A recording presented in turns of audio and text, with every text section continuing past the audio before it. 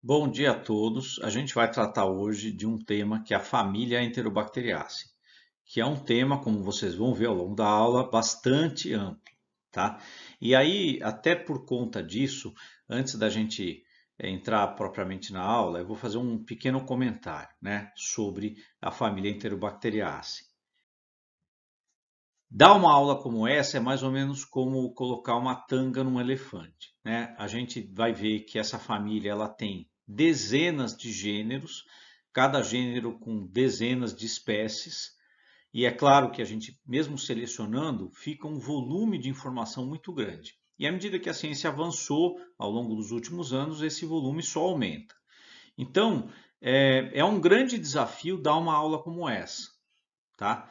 E, e até por conta disso, eu vou aproveitar e lembrar como é que a gente dava aula antigamente, muito antigamente, em que a gente não tinha muito acesso à informação, então as informações estavam quase que exclusivamente em biblioteca, em livro, e não existia tanta informação assim sobre os micro-organismos. Então, aquele modelo que hoje está ultrapassado de aula, em que a gente tem aqui um professor como uma jarra com o conteúdo como leite e o aluno como um copo, esse era um antigo modelo em que o professor dava aula e o dar aula era despejar conteúdo em cima do aluno. Né? É, isso funcionou por algum tempo, mas é evidente que quando esse volume de informação cresceu demais, a gente passa a ter um problema. Né? Um problema de sobrecarga de informação. Então, a, a ideia de uma aula, ela mudou bastante. É, e por isso, a gente, quando vai dar aula, a gente não pensa simplesmente em dar tudo o que é necessário, mas dar o suficiente para que vocês estejam instrumentalizados para conseguir se localizar no mundo e para buscar mais informação quando isso for preciso. Então vocês vão ver que ao longo dessa aula aqui eu vou falar muita coisa, mas eu vou deixar de falar de muito mais coisa, porque não é possível abordar tudo. Mas eu acho que se vocês tiverem esses pequenos pontos essenciais, vocês conseguem se localizar e quando vocês forem ter outras disciplinas ao longo do curso e vocês ouvirem algumas coisas, vocês vão ter noção do que se trata e vão poder buscar isso de forma bastante eficiente. Então essa é a ideia geral que vai ficar aqui na aula. E aí a gente parte para o roteiro, que é algo que me foi pedido para colocar como um facilitador é, para a gente fazer um percurso ao longo da aula e eu criei esse roteiro aqui. Então, tem sete tópicos. Né? É, primeiro, por que, que a gente está estudando essa família? Eu acho que é sempre importante falar isso em qualquer aula. Né? Para que, que a gente está estudando isso? Segundo, eu vou dar uma visão panorâmica da família. Isso aqui é bastante rápido. Né? Vou traçar as características que definem os membros dessa família. Então, evidentemente, por que, que eles estão nessa família. Um tópico que é importante para as enterobactérias é a estrutura antigênica, então a gente tem ele aqui como um destaque, vocês vão entender por quê quando ele chegar. O tópico 5 é um volume bastante grande em que eu vou apresentar alguns gêneros para vocês, então grande parte da aula se refere a esse tópico 5. Vou falar de forma bem breve sobre resistência às drogas, que no caso das enterobactérias é bem importante. E por fim, eu vou fazer um geralzão de diagnóstico. Então é isso, nós vamos percorrer esses sete tópicos aqui. Eu vou colocar aqui na parte de cima é, o título desses tópicos para que vocês se localizem à medida que a aula for evoluindo. E a gente começa sobre o porquê estudar essa família aí, família Enterobacteriaceae. Primeira coisa, eles são grandes causadores de infecções urinárias. Provavelmente são os maiores causadores de infecção urinária que a gente tem. Tá? Então, esse já é um, um, um, uma grande importância da, dos agentes dessa família.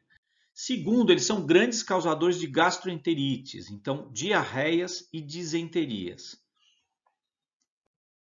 Terceiro, eles estão muito associados com quadros de septicemias né? especialmente em pacientes hospitalizados.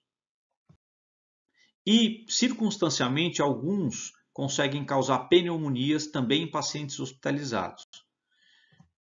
E, por fim, dentro da família Enterobacteriaceae, eu tenho um, uma categoria de, de micro-organismos que a gente chama de indicadores, é, indicadores de contaminação fecal. Então, é, esse é uma, uma outra importância, é um pouco diferente das quatro anteriores. Tá? E até coloquei aqui uma notícia para ilustrar isso, né? É, água no Rio de Janeiro, que foi estava com suspeita de ter problemas, mas eles não encontraram coliformes fecais, ainda bem, né? Que vejam a cor que a água estava. Né? E aí a gente vai para a visão panorâmica da família. Tá? Então, o que, que tem dentro dessa família? Apenas isto aqui, né? mais de 40 gêneros. Né? Isso aqui é algo bastante extenso, né? e obviamente a gente não vai ver tudo isso nesta aula, né? ainda bem. O que a gente vai ver é isto aqui. Gênero Enterobacter, Citrobacter, Escherichia, Klebsiella, Proteus, Salmonella, Shigella e Yersinia. Esses são os gêneros que a gente vai ver na aula de hoje.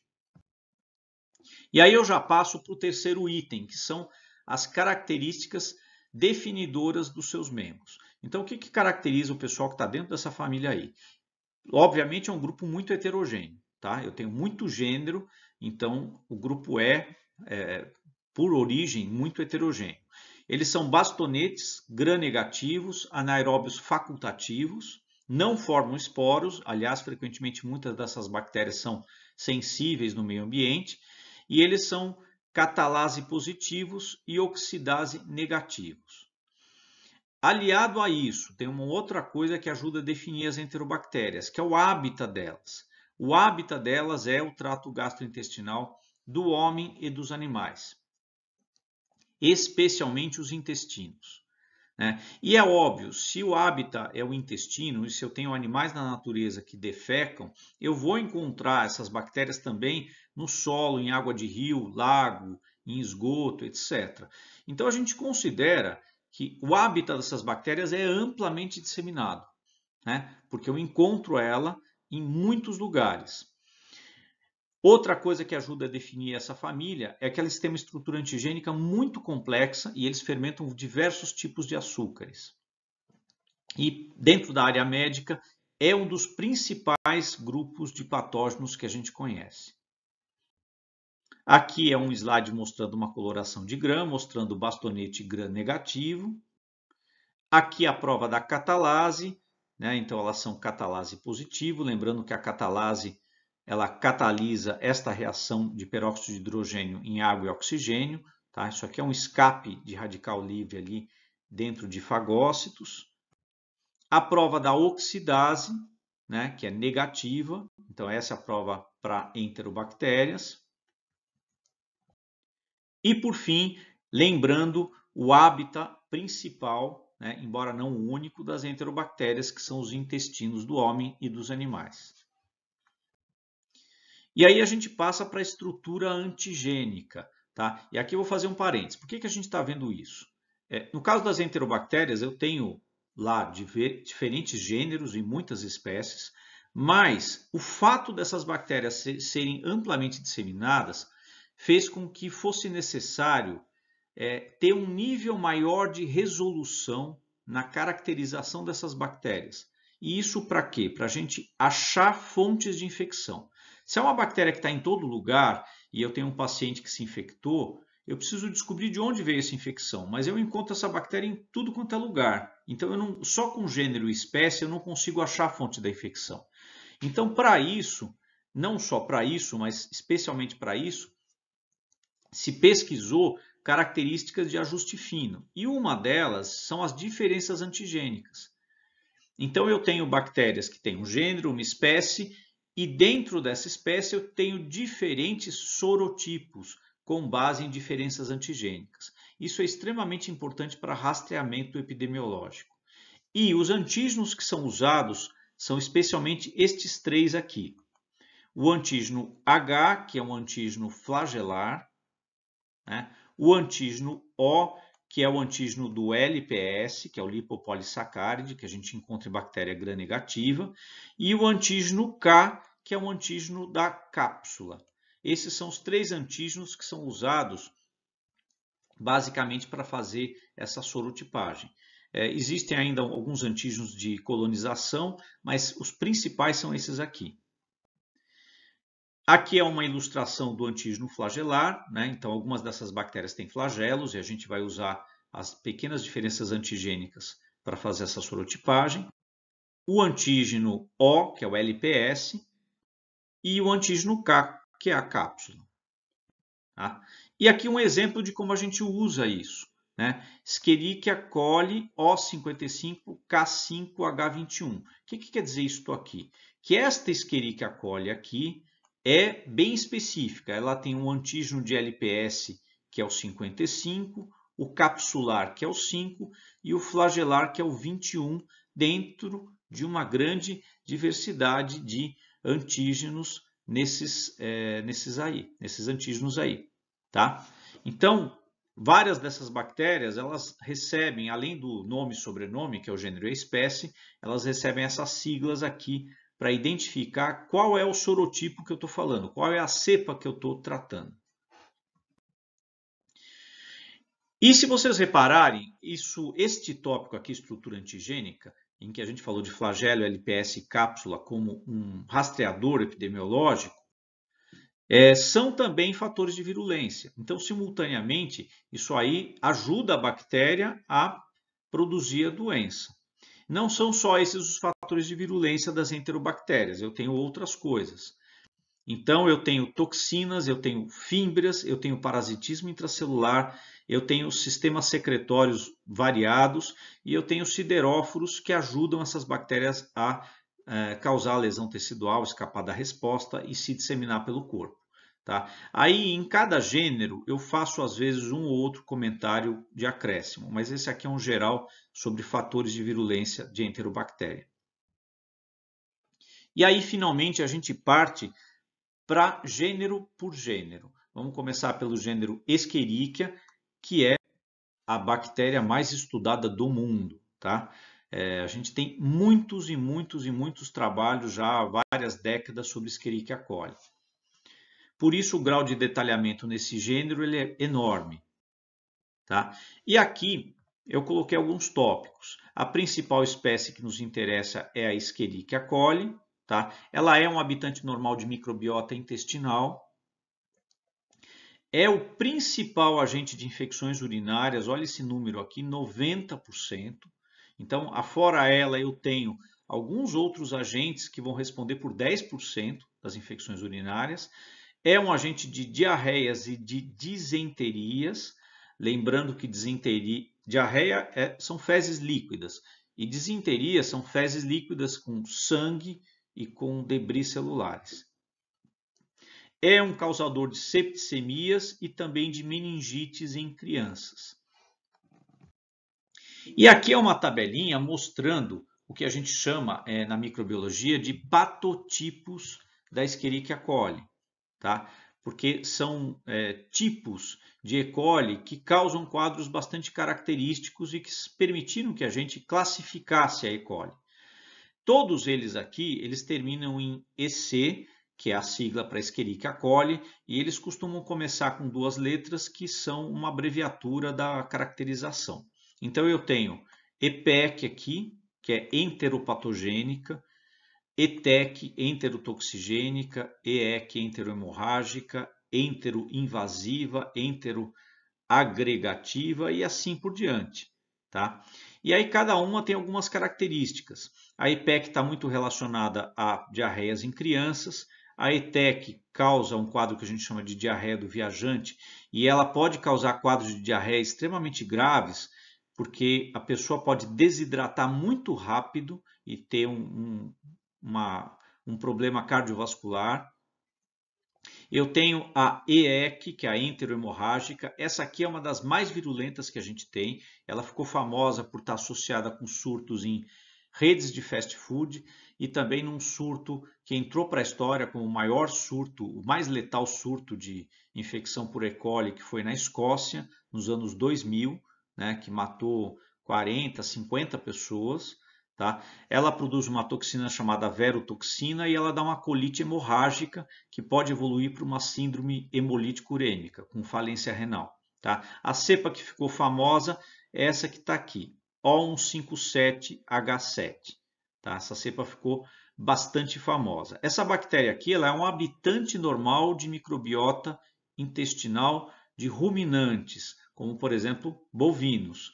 Então, é, na, no processamento da carne bovina, eu posso ter contaminação da carne por esta bactéria e ela pode eventualmente chegar no consumidor final se ela não for adequadamente cozida, é, frita, assada, etc. Se ela não passar por um processo térmico adequado. Uh, eu tenho a enteroinvasiva que causa uma disenteria semelhante à shigella. Tá? A enteroagregativa provoca quadros de diarreias crônicas. Né?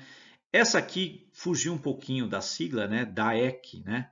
que é adesividade difusa. Né? Ela está especialmente relacionada a infecções urinárias.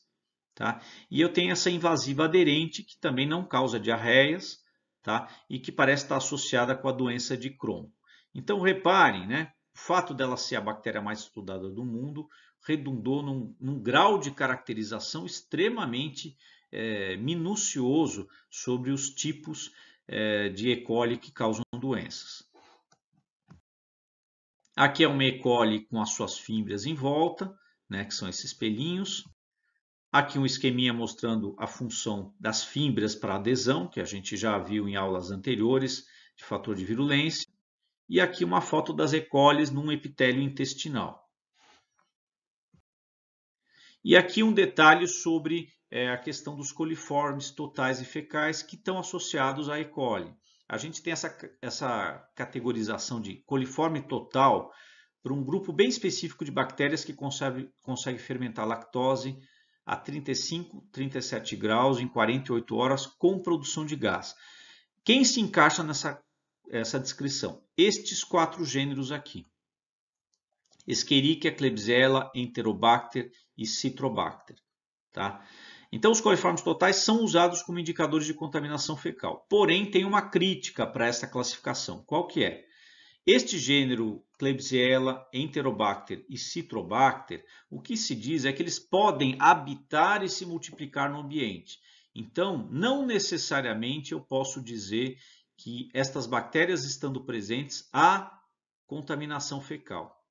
Já no caso da Escherichia coli, como ela é uma bactéria muito frágil e ela aparentemente não se multiplica muito no meio ambiente, se considera que o hábitat dela primordial é o intestino. Então, quando eu encontro E. coli em qualquer local, é porque aquele local teve contato com fezes. É, isso aqui também é meio cercado de polêmica, mas é um raciocínio que foi feito é, e a gente utiliza isso na formulação do que a gente chama coliformes fecais, que são aquelas bactérias que fermentam lactose nesta temperatura de 45, 47 graus, com produção de gás em 48 horas. Quem que consegue fazer isso? Somente a Escherichia coli. Então a E. coli seria o melhor indicador de contaminação fecal que a gente tem. O gênero Salmonella, que causa as famosas salmoneloses, Tá? É uma bactéria que tem uma classificação extremamente confusa, tá? porque em termos de homologia de DNA, eu só tenho duas espécies, a entérica e a bongori, né? mas eu tenho muitos sorotipos, centenas e centenas de sorotipos que os autores tratam como se fossem espécies. E é essa a classificação que eu vou adotar aqui para estar tá em consonância com os livros texto. Tá? O reservatório da salmonela, assim como outras enterobactérias, também é o trato gastrointestinal, só que destaque especialmente as aves. Tá? Então a gente vai ter uma associação dela óbvia com carne de frango e ovos. Elas têm um sistema de virulência para resistir ao pH do estômago, tá? graças à resposta de tolerância ao ácido, como a gente chama. Tá? E eu coloquei aqui algumas espécies. A Salmonella typhi, que é a mais importante, que causa o quadro mais grave, ela tem uma dose infectante muito baixa, da ordem de 100 mil células. Isso é bastante baixo em termos de dose infectante. Tem bactérias que precisam de 1 milhão a 100 milhões de bactérias para conseguir infectar um hospedeiro. Eu tenho a Salmonella paratyphi, que causa, que causa febre paratifoide. Tá? A Salmonella typhimurium, que é a mais comum causadora de gastroenterite, né? mas é bem é, autolimitante. A Salmonella enteritidis, que está relacionada com o ovo, e a cólera suis, que na verdade é de suíno, mas que eventualmente ela tropeça na gente causa doença no ser humano, e aí o quadro é bastante mais grave. Aqui alguns detalhes da relação dela com os alimentos, porque basicamente a infecção vai ser via oral fecal, né? Ela tem uma resistência aumentada ao calor quando eu tenho pouca água, atividade de água baixa e presença de açúcar, sacarose. É o caso, por exemplo, de ovos desidratados, tá? Uh, alimentos que têm muita gordura ajudam a salmonela a se proteger da acidez gástrica. E aqui eu faço até um parênteses. É, as pessoas que tomam inibidores de bomba de próton para tratar gastrite é, e refluxo são um potencial aí é, suscetível. Por quê? Porque uma das defesas que a gente tem é a acidez estomacal. Essa bactéria já tem um sistema para enfrentar essa acidez, mas na ausência de pH ácido, ela, mesmo em doses muito baixas, consegue causar infecção. Então a gente tem bastante associação, e aí não é só com a salmonela, é com muitos outros agentes de gastroenterites, entre uso de inibidores de bomba de próton e uma, um nível aumentado de infecções gastrointestinais. E eu reforcei aqui as fontes de infecção. Aves, ovos, tá? laticínios também podem conter, e qualquer tipo de alimento que foi preparado em superfícies contaminadas em que você tem contaminação cruzada de alimentos crus e cozidos. Né? Eu destaquei aqui os ovos, que sofrem a contaminação na galinha por via vertical ou horizontal. Então, por via vertical, o ovo ele é formado com a salmonela lá dentro e pela via horizontal a salmonela contamina a casca e consegue penetrar no ovo. A gente estima que um em cada 100 ovos tem salmonela, ou seja, comer ovo cru não é uma boa ideia, porque você tem 1% de chance de pegar uma salmonelose. Tá? E a contaminação cruzada de alimentos crus e cozidos, eu fiz a questão de dar um destaque aqui pelo seguinte: é, o médico não é simplesmente uma pessoa que vai tratar uma doença, ele é também um profissional que vai ajudar a educar em saúde. Então é preciso que o médico tenha noção é, de algumas informações para poder orientar os pacientes. E por isso que eu fiz questão de colocar isso. A contaminação cruzada que acontece com carne de frango envolve, por exemplo, o uso de facas que são usadas para cortar a carne crua e a mesma faca é usada para cortar a carne cozida. Então aí eu tenho a passagem da salmonela que estava na carne de frango crua para uma carne que foi cozida e aí essa carne não vai ser reaquecida, mas ela fica com a bactéria, que pode até crescer ali e infectar uma pessoa. Tá? Este tipo de coisa foi o que aconteceu no surto é, da Escócia, mas aí relacionado à Escherichia coli, aquela H7O157, tá? mas o princípio é exatamente o mesmo. Então eu uso a mesma faca para cortar carne crua e carne cozida. Né? Reparem, um simples hábito de Usar uma faca para cada coisa ou higienizar a faca teria evitado 40, 50 mortes pela E. coli H7O157. Aqui no caso da salmonela acontece a mesma coisa. Eu tenho a carne de frango como grande fonte aqui.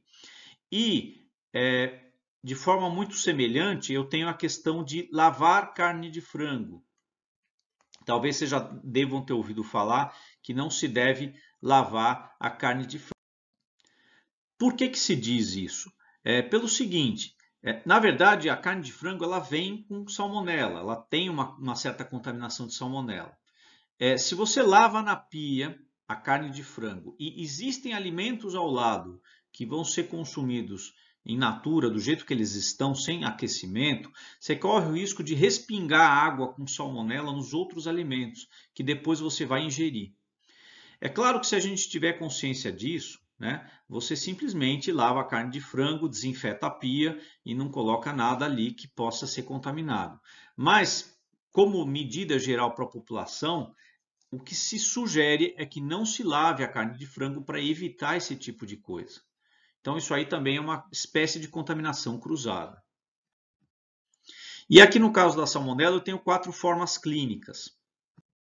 Eu tenho as gastroenterites, que é a forma mais comum de todas.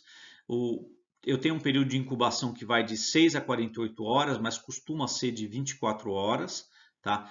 Os sinais clínicos são febre, dor de cabeça, náusea, vômito, não tem sangue, é uma diarreia comum, né? E o principal agente dessas gastroenterites são a Salmonella typhimurium, tá? Esse tipo de quadro ele regride espontaneamente. Então, sem a gente fazer nada, a tendência é, após alguns dias, 3, 4, 5, até 7 dias, essa gastroenterite se curar sozinha. Eu tenho os quadros de septicemia, né? Septicemia é generalização de processo infeccioso, é um quadro mais sério. Uh, todo, qualquer salmonela pode causar esse tipo de quadro, mas as principais que a gente tem são a salmonela tif, a paratif e a cólera suis. A salmonela tif a gente vai falar depois na febre tifoide. Tá? Aqui no caso da salmonela tif e cólera suis, a, eu tenho um período de incubação bastante longo. Tá? Os quadros da paratif em especial, eles são bem mais brandos que a febre tifoide, e eu vou ter febre, vômito, diarreia e o quadro da septicemia em si. No caso da febre tifoide, que é a doença mais importante pela gravidade dela, eu vou ter a Salmonella typhi, né, que é uma bactéria que consegue atravessar a parede intestinal, infectar os macrófagos, se espalhar pelo corpo e ela volta para a vesícula biliar e, é de, e tem uma reinfecção, vamos dizer assim, porque ela cai novamente, vai cair na luz intestinal. Tá? São quadros bastante mais sérios, bastante mais graves. Então eu tenho febre, dor de cabeça, mialgia, anorexia, mal-estar. Tá? O período de incubação vai de uma a oito semanas. E uma parte das pessoas que se cura acaba se tornando um portador crônico. Né? Ou seja, vai disseminar essa bactéria para o meio ambiente. Se ele for um manipulador de alimentos sem higiene, vai fazer estrago. Isto não é incomum. E por fim, eu tenho o quadro que é a colonização assintomática, que eu falei anteriormente aí. Então, uma pequena parcela da população tem Salmonella typhi ou Salmonella paratyphi, meio que habitando a microbiota intestinal sem causar doença e aí vai acabar sendo um disseminador desses agentes. Aqui é um slide mostrando a salmonela com as, os flagelos que estão aqui e eu tenho aqui as fímbrias em volta dela, que são esses pelos mais curtos. Aqui ela está sofrendo uma fissão binária. E aqui eu resolvi falar especificamente de um fator de virulência, até porque ele vai é, vai servir para as outras enterobactérias que a salmonela tem, é, que ajuda ela a penetrar no hospedeiro. Né? Eu desenhei aqui uma célula M, que é aquela célula de epitélio intestinal, que acaba colocando para dentro antígenos para serem é, processados ali pelas células da submucosa. E as salmonelas elas têm um sistema que é chamado sistema de secreção tipo 1, que é como se fosse uma seringa, vamos dizer assim. É uma seringa que vai injetar dentro dessa célula M uma série de proteínas que vão rearranjar o citoesqueleto celular. E esse rearranjo vai fazer essa célula M engolfar a bactéria para dentro. Ou seja, a bactéria induz a célula a colocar ela para dentro. É mais ou menos como alguém que vai na porta de uma casa, toca a campainha, conta uma história triste, pede um copo d'água, entra e aí depois dentro de casa vai fazer um assalto. Né? Então a salmonela ela tem esse jeito engenhoso de penetrar pelas células do, do hospedeiro para conseguir penetrar no corpo. Aqui é uma imagem bem bonita mostrando justamente esse engolfamento aqui, ó, que está ocorrendo. Eu tenho aqui as salmonelas. Reparem que eu tenho uma perda aqui de, da estrutura da célula e aqui o um engolfamento pela membrana da célula que estava aqui embaixo, no epitélio intestinal. Então, uma imagem bastante bonita essa. Esse sistema secretório ele não existe só em salmonela. Aqui é um meio que a gente usa para salmonela que chama Agar Salmonella shigella, né? difícil de lembrar, ou Agar SS, Ele é um meio seletivo, porque ele impede o crescimento de gram-positivo e de outras enterobactérias, e ele também é um meio diferencial, porque ele vai detectar o sulfeto de hidrogênio. Ele tem alguns componentes aqui né, que vão ajudar na detecção do sulfeto de hidrogênio e as colônias vão ficar com esse aspecto preto aqui. Ó. O gênero Shigella tem estas espécies aqui, a espécie tipo é a Shigella dysenteriae, mas eu tenho a Flexeneri boyd zonei, né? E o hábitat dessa bactéria é intestino de primatas, e nós somos primatas, então isso nos interessa. Né? E ele, a Shigella produz uma disenteria. Então, lembrando que disenteria é uma diarreia com sangue e restos celulares. Tá? E, no caso da Shigella, também com pus. É, ela provoca abscessos e necrose na parede intestinal, é, dá muita cólica mas apesar disso, apesar desse descritivo que parece muito feio, né? Você provocar lesões em epitélio, você ter sangue nas fezes, é, o quadro costuma ser autolimitante. Olha aqui, ó. Então a xiguelose não é um quadro grave. Porém, como ela costuma dar em crianças, aí a gente tem que tomar um certo cuidado, né? A, a Shigella não é invasiva como a salmonella, então é muito mais difícil ela dar uma septicemia. Por isso que o quadro acaba ficando restrito a uma gastroenterite que até se resolve sozinha também. E eu coloquei aqui um, um, alguns pontos que são interessantes. Né? É, as shiguelas são extremamente frágeis no meio ambiente. Então, quando você come um alimento que está com shigella, é porque ele foi contaminado agora, recentemente. Mas isso nem é o mais comum. Né? O mais comum ele está associado com crianças porque as crianças não costumam ter muita higiene, e se você tem uma criança com xiguelose e ela não tem higiene, brinca com os colegas, facilmente ela passa para os outros, especialmente porque, olha a dose infectante da xiguela, 200 células. É, comparem com a Salmonella typhi, que eram 100 mil células. Então, a Shigella ela tem um potencial de infecção tremendo. Né? O que a gente diz é que até uma simples mosca pode é, transmitir. Se uma mosca pousar em fezes com shigella recentes e vai pousa numa coxinha e você morde essa coxinha, você pode se infectar pela shigella. Tá? Mas a maioria dos quadros está associado com escolas de crianças pequenas. Tá? Aqui eu coloquei um pouquinho do, da, dos fatores de virulência. Ela tem um sistema de secreção tipo 3. Tá? É, ela faz um tipo de parasitismo de fagócito diferente da salmonela, ela se multiplica no citoplasma e não no vacúolo. Né? Tem uma toxina que no intestino, ok, ela dá uma gastroenterite que a gente já conhece. Mas se a bactéria causar septicemia, essa mesma toxina vai ter um efeito neurotóxico e aí o quadro é bastante mais grave. Aqui é uma colônia de Shigella. E aqui uma notícia recente, de uns 5, 6 anos atrás, sobre um surto que ocorreu numa escola no ABC, aqui no estado de São Paulo. Né? Ficou famoso o surto, né? É, pegou uma, um número bastante grande de crianças né? Com shigellose. Então, isso ilustra aí a principal característica desse, desse, desse gênero. O gênero Klebsiella ele tem estas espécies aqui, a Klebsiella pneumoniae, Oxytoc granulomatis. A pneumonia é a espécie tipo do gênero. A Klebsiella granulomatis ela está ligada a doenças sexualmente transmissíveis, ela causa o granuloma inguinal, né, que é também chamado de donovanose, né, é, por causa do antigo nome dessa bactéria. Tá? E aqui eu coloquei um exemplo da lesão e um, um fagócito aqui parasitado o qual foi feita a coloração de guinça e a gente consegue ver os corpos de Donovan, que são característicos da, do granuloma inguinal.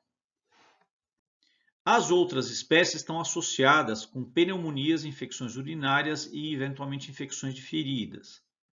Eu vou me centrar na Klebsiella pneumoniae, que é a mais importante. Né? São bactérias capsuladas, hábitat, trato gastrointestinal e, olhem que diferente, trato respiratório. Então, eu tenho uma enterobactéria que pode estar normalmente no trato respiratório. Isso é um diferencial em relação às outras enterobactérias. É uma bactéria tipicamente oportunista, não está associada com diarreias. Isso aqui é bastante interessante, ó, não está associada com diarreias. E eu tenho dois pontos aqui de destaque. Um deles é linhagem multiresistente. Foram descobertas linhagens de Klebsiella é, com genes, com enzimas de carbepenase que inativam várias drogas que a gente utiliza para tratamento. Elas ficaram famosas como KPC. Né? KPC é, foi usado para designar alguns genes de resistência e vulgarmente na imprensa foi usado para chamar a bactéria. Né? Então, essas linhagens multiresistentes são um grande problema. Por quê? A Klebsiella não produz doença em paciente imunocompetente, mas em hospitalizado sim. Ela produz quadros de pneumonia. Se eu tiver um paciente hospitalizado com uma pneumonia por Klebsiella e ela for multiresistente, eu tenho um baita de um problema. Por quê? Porque o paciente está debilitado e eu não consigo achar droga para tratar. Então, os, quando começaram a ocorrer esses surtos de Klebsiella pneumoniae é, multiresistente aqui, é, o que, que aconteceu? Isso foi um Deus nos acuda. Diversas UTIs tiveram que ser fechadas aqui no Brasil para desinfecção, para esterilização dos equipamentos, porque isso é um perigo muito grande. Então, essa bactéria acabou ficando famosa por conta dessas linhagens multiresistentes que apareceram. E, além disso, né, não há nada tão ruim que não possa piorar, a gente apareceram linhagens que são chamadas de hipervirulentas. Estas linhagens aqui são realmente virulentas para imunocompetentes, mas não são multiresistentes. Então, é, a gente tem uma ideia, e depois a gente pode discutir isso na aula síncrona, de que nós podemos ainda vir a ter o pior dos mundos, né? Se eu tiver uma recombinação genética de linhagens multiresistentes com as linhagens hipervirulentas, eu posso criar uma bactéria que vai fazer muito estrago. Aqui é uma imagem de, gram, de Klebsiella, bastonete gram-negativo, com dois fagócitos. Aqui é um exemplo, a imagem de cápsula de Klebsiella. E aqui é a colônia dela. Tá? Ela tem uma colônia mucoide, como qualquer bactéria com cápsula teria. E aqui é só um exemplo de várias notícias que saíram na imprensa ao longo do tempo falando sobre essa superbactéria que seria a Klebsiella pneumoniae multiresistente, o pessoal chama de KPC. Então, a superbactéria é alerta para hospitais, desinfectologista, matéria de 2010. Esta matéria aqui do Jornal de Brasília, ó, morte por KPC fecha UTI no Mato Grosso. Superbactéria KPC faz 122 vítimas em hospitais na Paraíba em 2015. Tá? E aqui também falando novamente da Klebsiella na, na Espanha. E aqui um artigo falando da linhagem hipervirulenta, que também é chamada de hipermucoviscosa, tá? Klebsiella pneumoniae. Né? A gente passa agora para o gênero Yersinia. Tá? E aqui é uma das doenças que esse gênero pode causar. Tá? Esse quadro, que aliás eu gosto bastante, chama O Triunfo da Morte, é do Peter Bruegel, de 1562, é um quadro que ilustra a peste negra ou a peste bubônica, né? que devastou a Europa, é, matando praticamente um terço da população, né? 25 milhões de pessoas. É, isso foi um flagelo extremamente grande e é causado pela Yersinia pestis. Eu coloquei aqui um descritivo das doenças, mas eu não pretendo ler, vai ficar aqui só para consulta de vocês. Nós temos a peste bubônica aqui no Brasil? Temos. Né? Muito raro. Né? A peste pneumônica, que é muito mais grave, que tem uma letalidade de 100%, a gente não tem. Mas a peste bubônica, transmitida pela picada de pulga de animais silvestres ou de roedores, a gente tem no Nordeste, algumas partes do Nordeste e em Teresópolis, no Rio de Janeiro. Tá? Mas são quadros muito raros e eles são monitorados, felizmente. Tá? E aí, basicamente, a Yersinia pestis, um patógeno de animais silvestres, principalmente roedores. Ela tem uma série de fatores de virulência, LPS para todas as enterobactérias, uma série de toxinas, cápsula, ilha de patogenicidade com sideróforo, um gene que é, ajuda ela a destruir componentes do sistema complemento também e desfazer rede de fibrina para ela se espalhar e também tem um sistema de secreção análogo ali ao que a salmonella tem que ajuda ela a parasitar é, macrófagos. Aqui uma pulga, né, transmissão da peste bubônica, e aqui uma coloração de guinça mostrando a Yersinia pestis. Ela aparece como se fosse uma, uma bactéria torcida, ela tem alguns trechos mais claros na estrutura dela. Então ela é um pouco diferente. Tá? Aí é usado guinça, que é uma coloração que acaba engrossando, porque ela é um bastão muito fininho. E a gente tem aqui as outras duas espécies. A pseudotuberculose e a enterocolítica, que é a mais importante para nós, são bactérias super é, disseminadas, tá? tem diferentes sorotipos e o que, que elas causam? Uma gastroenterite autolimitante, ou seja, quem tem gastroenterite por Yersinia, se deixar sozinho, a pessoa se cura sozinha, né? exceto casos é, que tem comprometimento do sistema imunológico. Um dado interessante, essas bactérias aí, elas são psicotróficas. O que, que é isso? Dentro do grupo das psicrófilas, que crescem de 0 a 20, as psicotróficas crescem de 0 a 7 graus, ou seja, temperatura de geladeira. Então, existe uma associação dela com alimentos em refrigeração. A principal fonte dessas bactérias são suínos, né? e eu tenho uma série de alimentos que estão relacionados a elas: carnes, leite, derivados, verduras. Aqui um, uma coloração de gram, bastonete gram negativo. A gente passa por proteus, que é, tem duas espécies, Proteus mirabilis e Proteus vulgaris.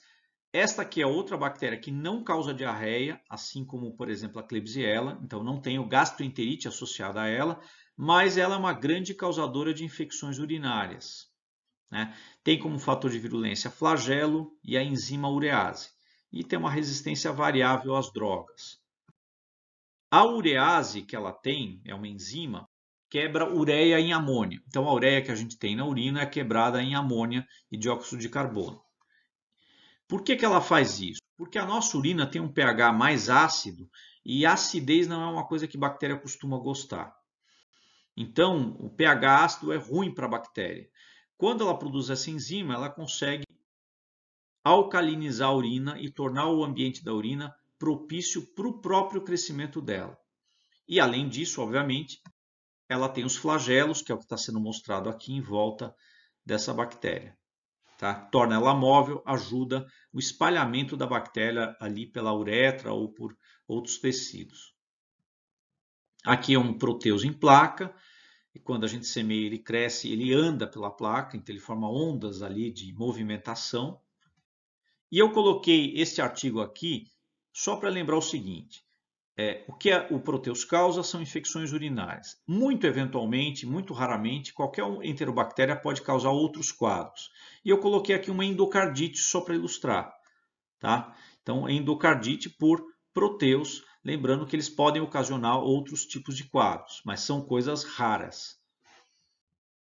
O gênero Serratia Tá? Aí a gente tem a espécie mais importante, que é a Serratia marcescens.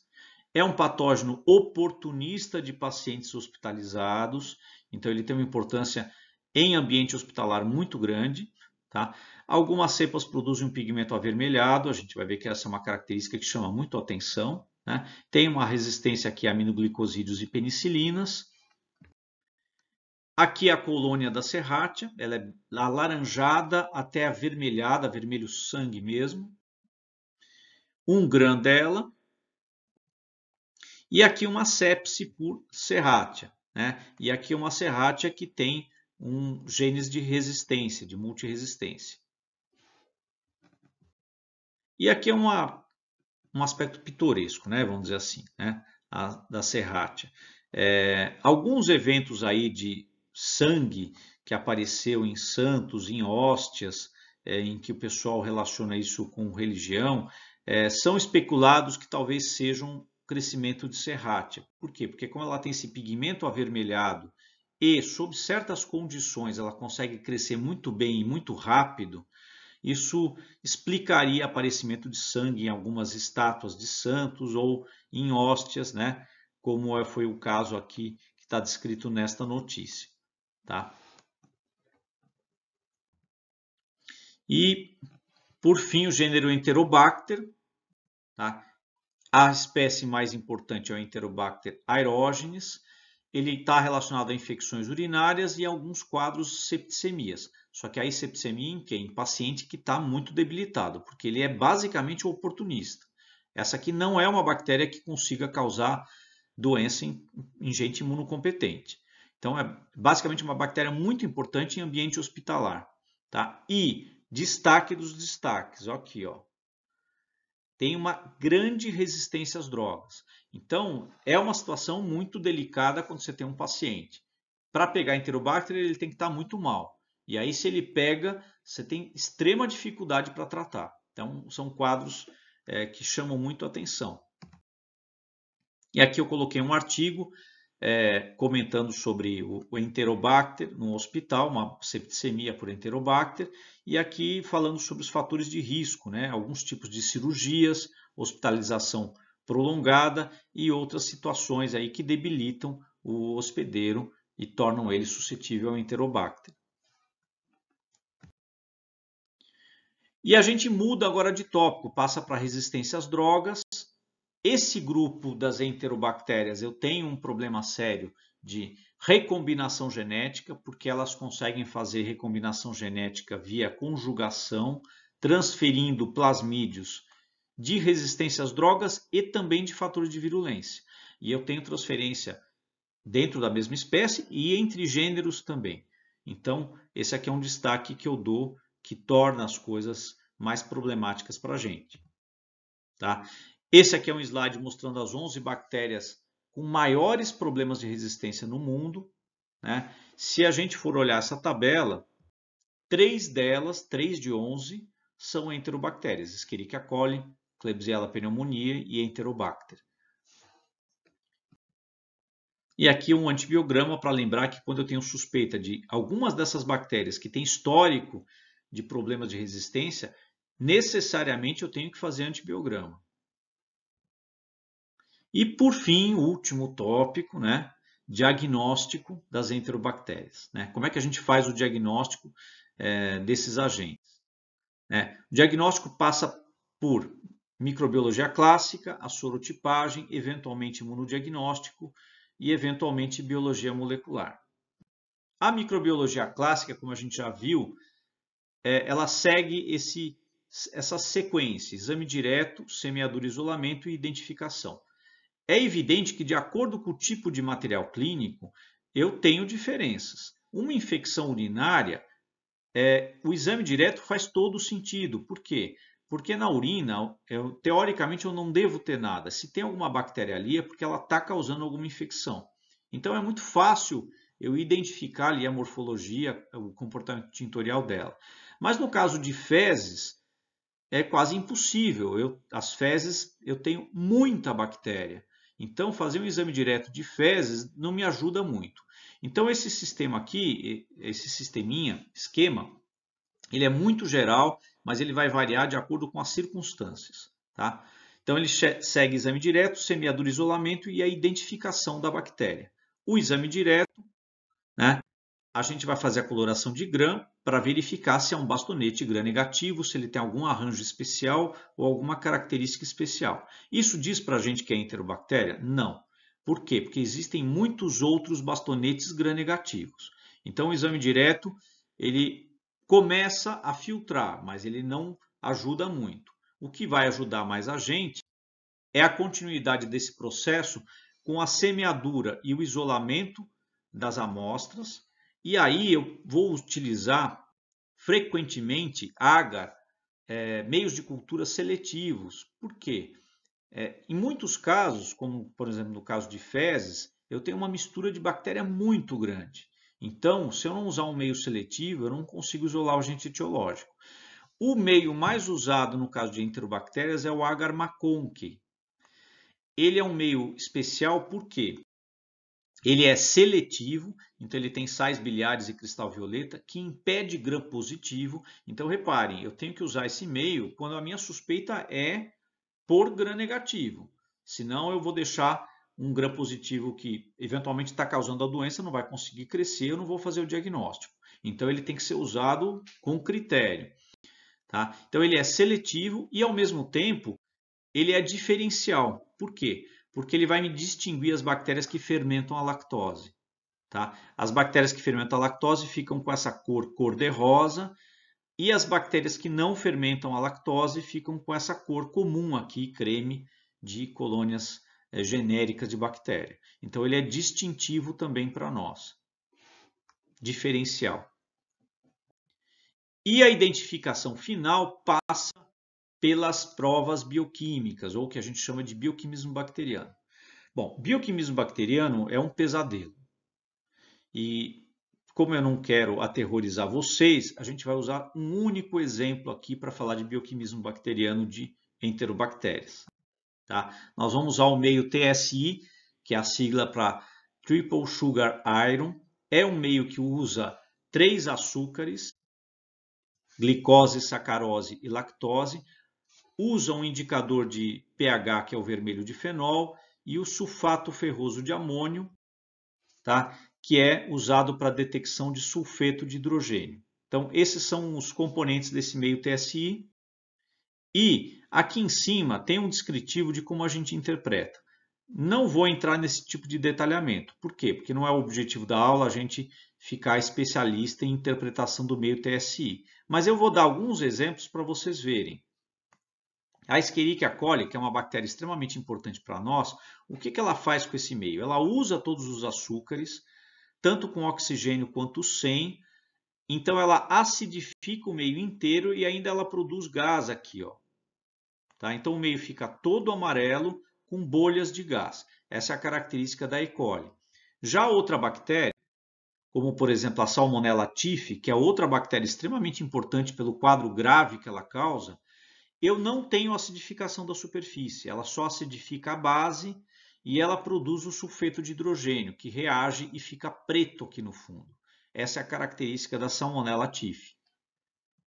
E eu tenho a Shigella zone, que é um outro agente que não produz sulfeto de hidrogênio, mas consegue acidificar a base, mas não acidifica a superfície. Então, esse aqui é só exemplo de como a gente interpreta os diferentes crescimentos nesse meio de cultura. Esse, essas provas bioquímicas elas foram simplificadas numa coisa que chama API-test, em que você tem uma régua, né, basicamente aqui, ó, uma régua com vários pocinhos com meios de cultura. Então você semeia a bactéria aqui em cada pocinho, incuba, depois você vai ter uma viragem de cor e você interpreta essa viragem de cor segundo um padrão. Tá? Isso aqui é mais prático, mas é um pouquinho instável e também é mais caro que os testes tradicionais. Eu tenho a sorotipagem, né? Lembrando que a sorotipagem não é propriamente um diagnóstico, ela é um acessório ao diagnóstico para me dar qual é a cepa. Então eu tenho identificação bioquímica e depois eu faço a sorotipagem. Tá? E aí eu vou fazer a sorotipagem por uma prova de aglutinação ou soroaglutinação usando anticorpos específicos para aqueles diferentes antígenos de LPS, cápsula e flagelo. Posso fazer imunodiagnóstico? Posso, em algumas circunstâncias isso é necessário. E um dos imunodiagnósticos é, feitos com maior frequência é a imunofluorescência. Tá? Embora não seja o padrão ouro para nós, mas eventualmente ele é feito. E eu tenho a biologia molecular por PCR, que está sendo feita, está entrando aí para o diagnóstico das doenças microbianas cada vez mais, mas é uma técnica mais cara do que as outras.